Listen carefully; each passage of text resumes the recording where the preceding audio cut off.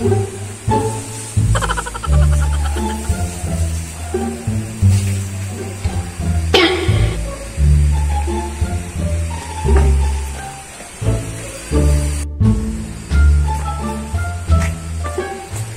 po pultong nga to? Nagdalagan na to.